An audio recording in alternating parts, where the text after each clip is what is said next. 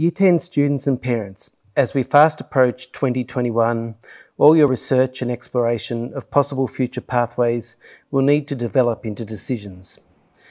These decisions may change and vary along the way, but we need to start formatting an idea of what Year 11 and 12 will look like for you. Please make your decisions based on what is best for you. These decisions will involve which subjects in Year 11 and 12 will help you navigate life after school. For some, this will lead straight into employment. For others, it will involve further training. The video, What is a VCE course, will explain how the Victorian Certificate of Education is structured. In interviews on August the 10th and 12th, we will discuss with you and your family the subjects best suited to you in individual course counselling sessions. For some students, your, your VCE may include a VET or alternative qualification, which allows you to combine practical experience with school-based subjects. This is very motivating for some students and helps to make their learning relevant. The information shared with you now in this video, we hope, will help you understand what options are available to you if you wish to gain practical experience and qualifications. For students looking for alternatives, there are vocational options available within the VCE for students to diversify their VCE program. This presentation introduces a couple of these options, which are of a vocational nature. Let's start with VCE VET. VET is short for Vocational Education and Training.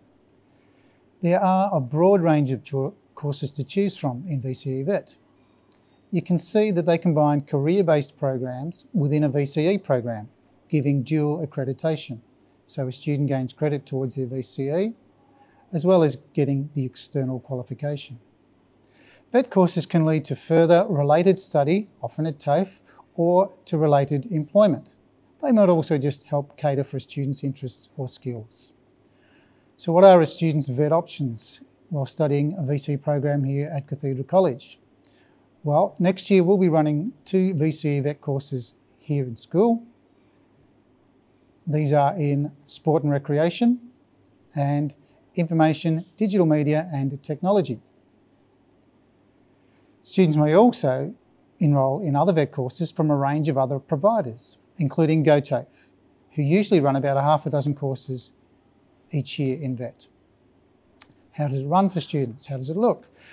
Well, if they're doing one of the courses here, the two courses, the ones in sport and recreation or IT, they'll feel like just another VCE subject for most of the time, and they'll be included on the student's timetable.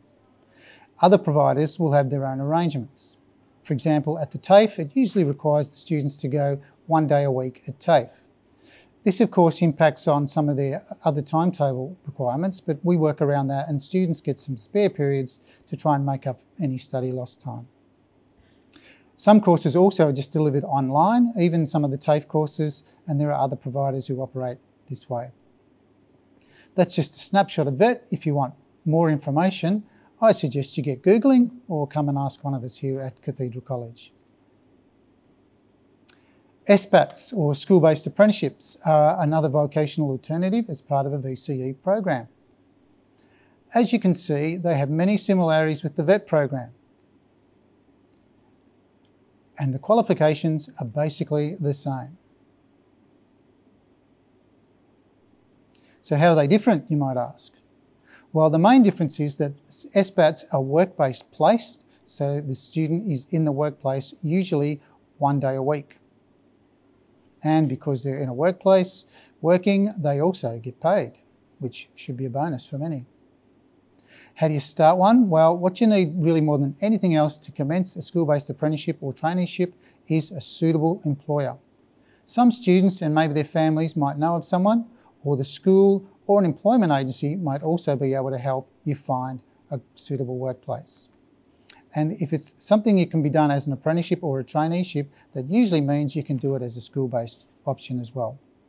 And these uh, school-based can start at any time during the school year as long as the student is at least 15 years old. Ideally, they would run concurrently with the, with the school year because they fit in better with the rest of the students' program that way. But they don't have to. If a suitable employer comes along at any time, then we can get the wheels in motion. And there's plenty more to be found out about school-based apprenticeships. Also, uh, you can Google, you'll go straight here if you, if you do so, and you'll get a comprehensive guide, or you could speak to one of us here at Cathedral College. Thank you for listening. Hi, I'm Kel Vincent from GoTAFE. I'm a Youth Engagement Officer within the Student Pathways team. And I'm here to talk to you about alternative pathways for your alternative pathway selections. Um, Goulburn Ovens Institute of TAFE is the largest training provider in the Goulburn Northeast region of Victoria with more than 16,000 students enrolled annually. We offer training across certificate all the way up to diploma level courses, short courses, pre-apprenticeships, traineeships, apprenticeships and specialised industry training. GoTAFE offers you practical opportunities to advance your education and career options, build your skills from pathways to certificate to diploma level, be part of your community, live and learn locally. As part of your course selection, as mentioned by Mr Dunbar, you may be referring to VET DSS or Vocational Education and Training delivered to secondary students. A VET DSS program or qualifications can be completed alongside your Year 10 or VCE studies and give you the opportunity to explore and gain new skills in the industries and career pathways that interest you. As a VET DSS student, you'll attend classes at GoTAFE one day a week in Wangaratta, and you'll combine VET DSS with your normal VCE studies. Your VET DSS course can contribute towards your ATAR depending on the course you enrol in.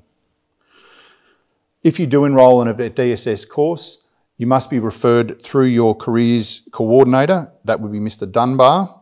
And if you would like more information regarding the courses available through GoTAFE for VET DSS, please refer to the links on this course page.